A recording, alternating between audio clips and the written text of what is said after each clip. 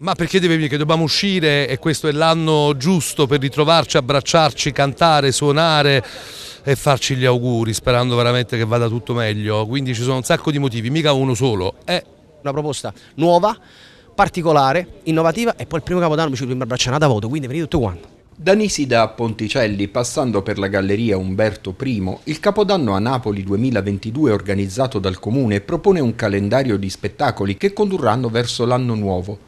Si comincia giovedì 29 dicembre con un concerto in memoria di Pino Daniele. È un evento che facciamo sotto la Galleria Umberto I, era un progetto che già avevamo un po' nel cassetto quando, con mio padre, con tanti giovani, con tanti ragazzi che studiano in vari conservatori italiani e che reinterpreteranno i pezzi di mio padre. Io faccio il concerto il giorno 30 dicembre mattina a Nisida, al carcere minorile e portare la musica nei luoghi di sofferenza in una giornata così importante, prima del Capodanno, è fondamentale. Quindi vi aspettiamo tutti. Il Capodanno è stato presentato questa mattina al Maschio Angioino con alcuni dei protagonisti delle iniziative.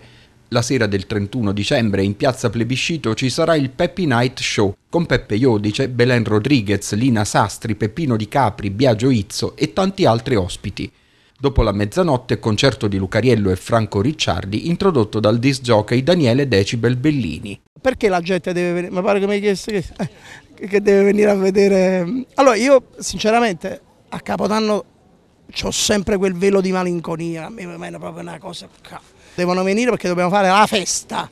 Ci siamo tutti noi del Peppy Night e un sacco di amici che arrivano eh, a fare i scemo insieme a noi. Ragazzi venite il 31 dicembre a Piazza del Plebiscito perché dobbiamo aprire l'anno sorridendo, ridendo e in modo così felice. Un capodanno di gioia, di felicità, saremo tutti insieme, bella musica, bella gente, venite, vi aspetto perché venire al concerto al centro di Napoli, soprattutto per eh, dare dimostrazione che il nostro spirito vitale è vivo c'è e ci piace festeggiarlo con la nostra città. Una programmazione culturale vera e propria che trova nel Capodanno un pretesto per offrire alla città in continuazione con quello che è stato fatto finora, quindi penso al maggio, penso all'estate, penso all'autunno che abbiamo organizzato, oltre al grande bando per il Natale, un'offerta culturale continua. C'è un bando interessantissimo per tutti quanti voi perché potete lavorare con noi quella notte del 31 sul lungomare di Napoli e poi e poi e poi ancora ancora. Io sono Ste e mi esibirò il 30, piazza Plebiscito sarà un R&B napoletano molto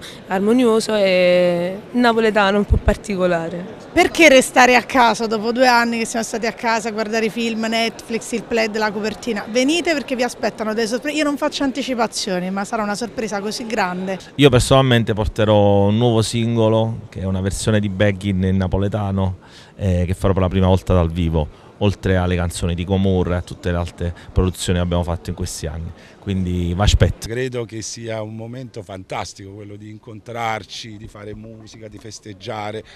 L'unione, l'aggregazione, quello che la musica serve, l'aggregazione, l'incontro con l'altro. Sono felicissimo di farlo proprio poi a casa mia, con la mia gente, nella mia città. Partiamo il 29 con Pino Daniele, nel nome di Pino Daniele Andiamo avanti il 30 con eventi durante il giorno al carcere di Nisida, eh, in periferia la sera avremo un grande concerto di Ircomi preceduto da tutta una serie di artiste donne emergenti bravissime.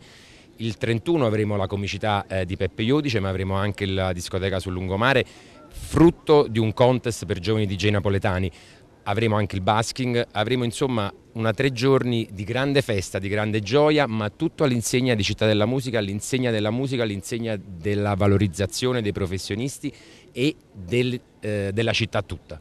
Primo capodanno che noi festeggiamo in piazza dopo anni veramente difficili e lo facciamo veramente con un grande spirito di partecipazione, anche di liberazione da parte di tanti cittadini che vogliono eh, affrontare il nuovo anno con ottimismo e con uno spirito nuovo. Ovviamente pensando sempre alle persone che soffrono, a chi è stato colpito dalle tragedie degli ultimi giorni, però oggi abbiamo bisogno anche di speranza, di futuro, di ottimismo e questo capodanno è un capodanno di rinascita.